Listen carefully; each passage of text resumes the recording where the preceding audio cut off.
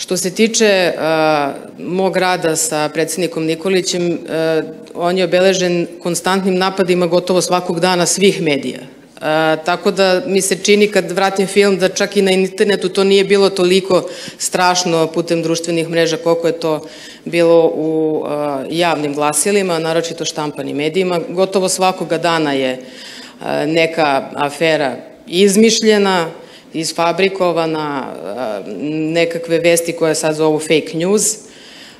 To je toliko bilo strašno i, i bolno da, da, i da ne verujete da, da nekakva glupost može tako da dobije razmere neverovatne da postane i bude prihvaćena kao istina i da svi mainstream mediji tu glupost prenose kao neverovatnu istinu. Evo ja ću vam reći jedan primer.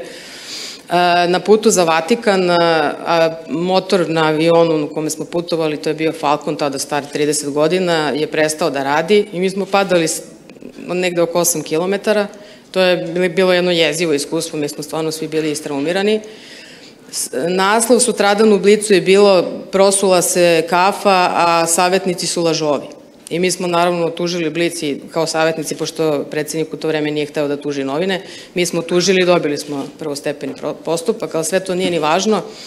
Ta vest je došla do Vatikana jer sledeći, pošto smo se mi vratili, jel, sa dva preostala motora, mi smo se vratili za Beograd i onda kad smo ponovo otišli u Vatikan, onda su nas pitali tamo, a vi ste padali zbog kafe.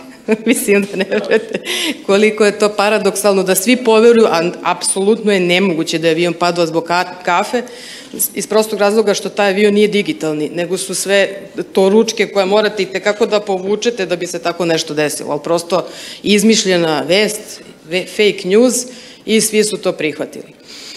Dakle, Oproste, a koju kafu ste pili pa dobro, nismo u tom trenutku, znate, kad krenete da letite po kabini, nije, nije, nije, nije, nije ni malo smešno, ali dobro, jedno, meni je i mnogo, nakon toga se imala strah malo od letenja.